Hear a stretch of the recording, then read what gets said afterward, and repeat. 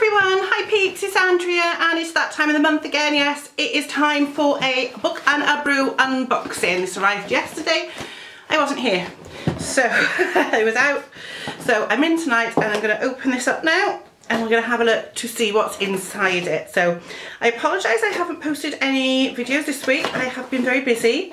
Um, at work and also with the show I'm uh, teching at the Dolman so I haven't really had much time to film but hopefully I'll be able to do some over the long weekend we're about to have. So here is the box.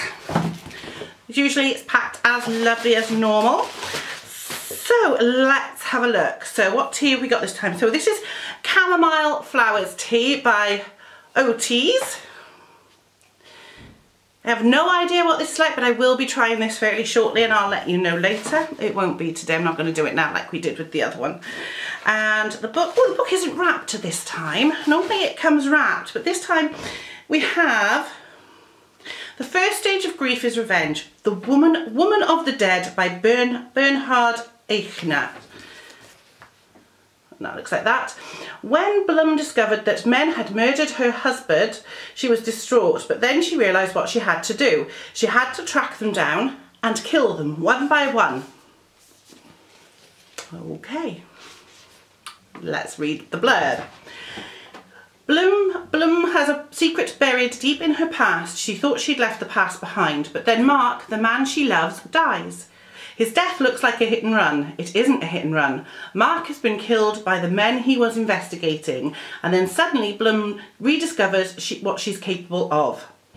Kill Bill meets Dexter via The Girl with the Dragon Tattoo. Woman of the Dead is a wild ride of a thriller where the first stage of grief is revenge, and reve revenge is a dish best served bloody.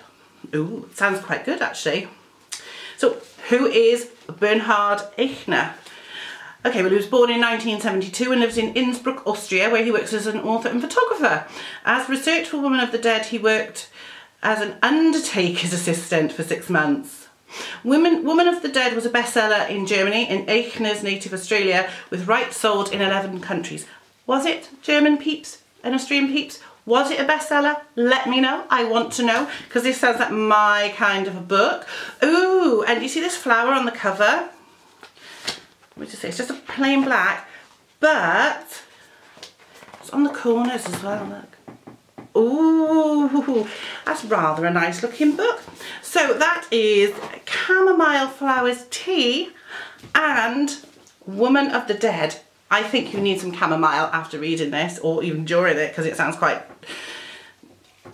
well, quite spooky really, not, you know, not... Uh, Oh yeah, doesn't, no. Sounds really, really good. I'm going to enjoy this one. I've got to be honest though, I do love the books that they send out, but I hardly ever read them because I've got a very, very big pile of two TBRs and I'm really falling behind with my reading at the moment.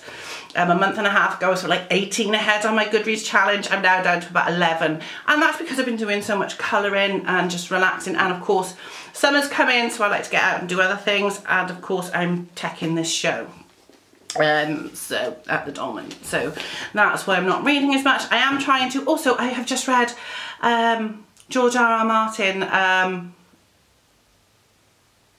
a Sword of Storms part one because it was so big it had to be split into two for the paperback. So I've read part one but I haven't read part two.